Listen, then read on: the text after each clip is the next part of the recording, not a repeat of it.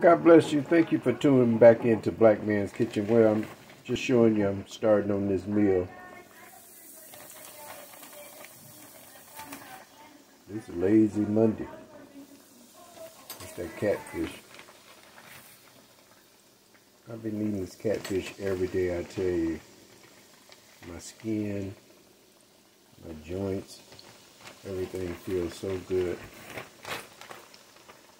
Also I have the, the pig feet. See how clean that is? That's the way I want them before I put them in the crock pot. Then I will add a couple onions. And I will put the onions in just like this, whole just like that. Wash them off a little bit.